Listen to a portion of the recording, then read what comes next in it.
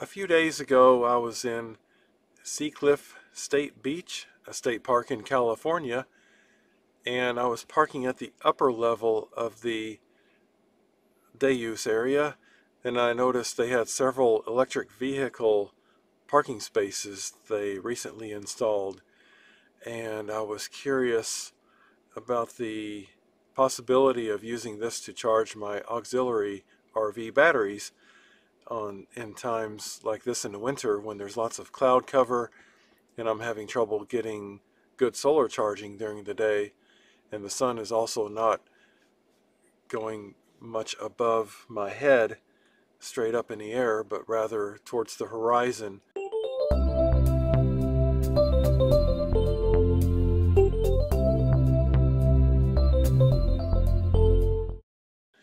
So I was looking at the charging capability of these. I looked at the plug and on the end of the plug it said 120 slash 240 volts. And then I consulted with a company in Tucson, Arizona. Here's their website. After many, many emails and confusion, they finally directed me towards their product down here designed originally for a motorcycle, the zero, I guess a zero brand motorcycle, zero designating zero emissions. And so this would be the plug with a pigtail he was offering to customize for me any pigtail I want.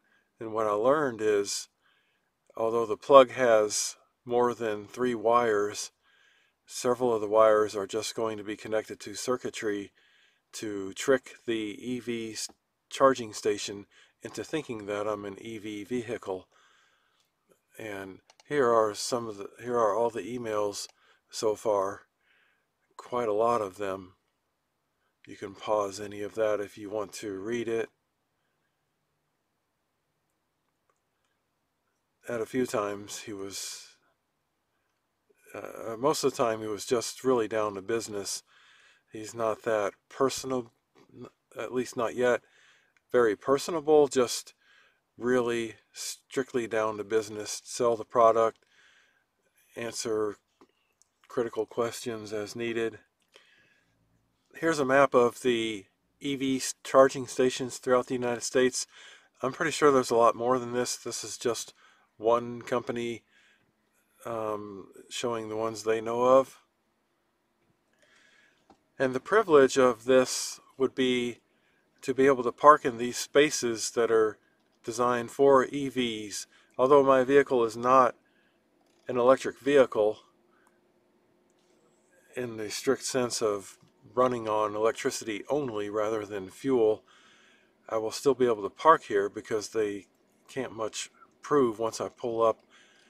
There's not going to be someone there waiting to make sure they don't hear a a fuel engine. So anyway, uh, this um, motorhome I have, I custom built, is going to be, as far as I can tell, the first RV or motorhome of any type that will be equipped to plug into an EV charging station. I believe Mercedes-Benz is working on a electric motorhome, but they haven't released it. They're not anywhere near releasing it. They just have a prototype. Uh, and there are there are actually electric vans out there, even in the United States. They're apparently extremely rare. They are there, but this will be the first one with a sophisticated electronic power system that will be designed for RV and living use and the vehicle pretty much needs to be this size or smaller because these EV parking spaces are not that big. You're not going to be able to get a Class C and uh, of course not a Class A motorhome in these kind of charging stations. So it's going to be restricted to something like this or smaller. This one is 20.5 feet long including the boxes on the back. Here's my 30 amp inlet that I installed. and this is what I'm thinking about having converted into the EV charge inlet. Currently this is just a exhaust fan that's no longer being used and all my power things my power station is located right here where I have the cursor this area here the battery and everything like that. Um, so one of my concerns is sometimes the cord at the EV charging station may only reach maybe up to here. I think most of them are going to reach all the way up to here if I pull in. If not I can back in. So no big deal. This is already a historic innovative RV camper van build in many ways.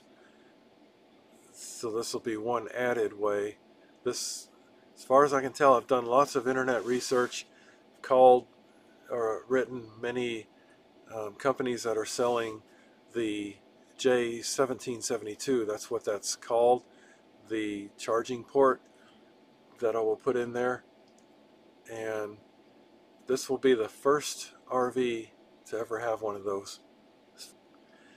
Some of the benefits of having it will be I will no longer need to drive in order to charge my batteries when the solar is insufficient and I need charged because I don't have a generator.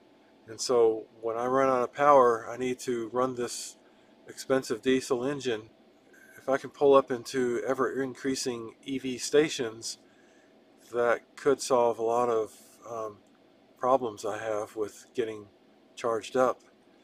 Also the benefit of charging at an EV station is it will allow my battery system to my batteries to be topped off and they will last longer that way with less threat of being discharged beyond 11 volts as far as my research determines, if a battery is discharged beyond 11 volts, if it's an AGM battery, then it will um, degrade and lose some of its longevity. The reason I still don't have lithium batteries, although I did try them, is because the complications involved with hooking it up so that when I drive the vehicle or let it idle, it will charge my lithium batteries from the alternator.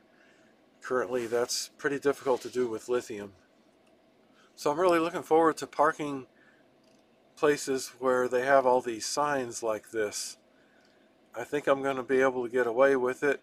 It's going to uh, probably attract a tremendous amount of attention to my vehicle.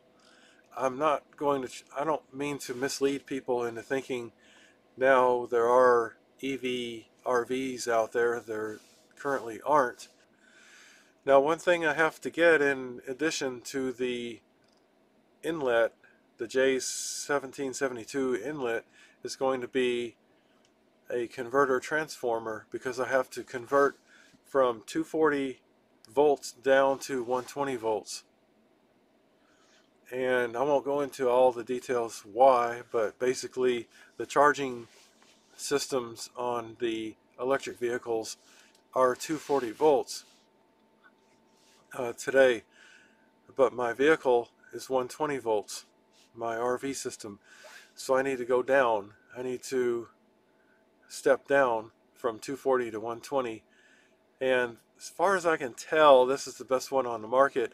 I bought mine, I just ordered it from Walmart, 169 For some reason they didn't charge tax even though I'm in California.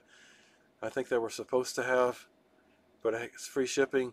I wanted to buy it from Walmart in case I don't like it. I can easily just go to a store to take it back within probably two weeks or so.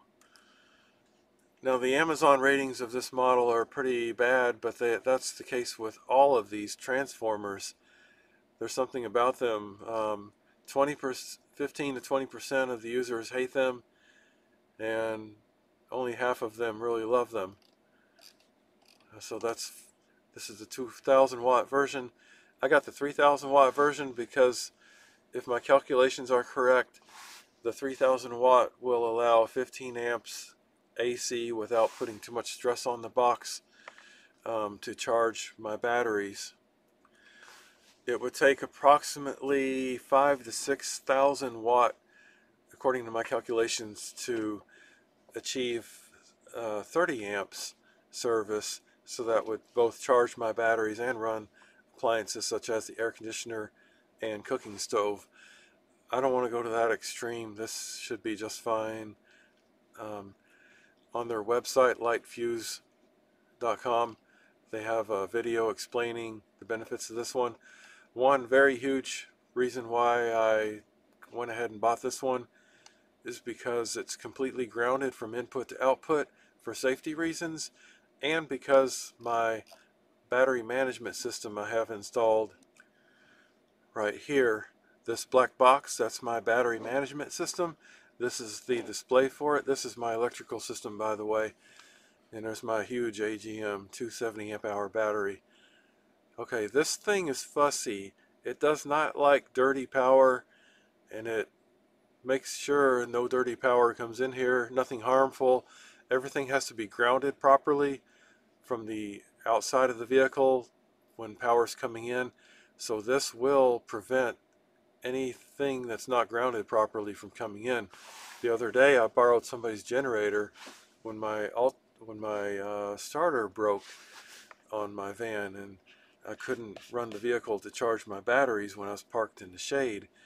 And so their generator was a 2000 watt champion and apparently it had an open ground and so this EMS electrical management system totally rejected that generator would not allow me to charge my battery or anything at all. And so therefore it's very important I get one that's grounded really well so this won't reject it. So the way the the transformer is going to have to be installed here uh, is that it's going to um, I believe it's going to come start at the um, EMS and the back end back here. It's going to have to come in back here. So I'm going to have to tie into probably either a 15 I have a 15 and a 30 amp service inlet. The 15 amp one you didn't see in the previous photo because it's mounted on my back bumper. So uh, I can uh, hardwire into that before coming in here and then it's going to go to my breaker box. These are two 15 amp breakers. And then from there goes to an automatic transfer switch to the AC receptacles here and also many of them not shown in this photo on the right side there my electrical system is very heavily fused. The kind of fuses that I like are resettable ones, and that's why I was wanting to get the transformer I showed you because instead of fuses that can blow, it has a resettable fuse. And here, this right here is the charger that ultimately I plan on being the prime focus of where the power is going to go to from the EV charging station. This charger is a charger converter. Of course, I'm going to make a video after the successful install and operation, which hasn't occurred yet. That's going to be in about a week or so after this video is made. So I just wanted this video to be kind of a historic video because I think this is pretty cool, important stuff. This is the future where we're going to be plugging our vehicles into EV charging stations. Um, uh, there are, I believe there are hybrid electric vehicles that have gas uh, and electric systems that plug into EV stations, so they're not all 100% electric vehicles that plug into them, so that more justifies what I'm doing, certainly does, now that I think of it. So again, like I say, the main purpose of this video is to explain, as far as I can tell, this is going to be the first vehicle with this kind of RV equipment that's going to be plugging into an EV charging station. And it's taking a company like the one I ordered the Pigtail adapter from in Tucson, Arizona to have circuitry to trick the charging station into believing that I'm an electric vehicle when I'm really not so that I could charge this battery primarily. When I do a lithium upgrade, everything will still be the same pretty much. This is a four stage smart charger compatible with lithium. So I could swap that out for lithium and I believe everything's still going to be the same. Okay, I'm going to get going. Uh, like I said, please leave me some feedback. Um, I appreciate it. I enjoy having a conversation with you down in the comments.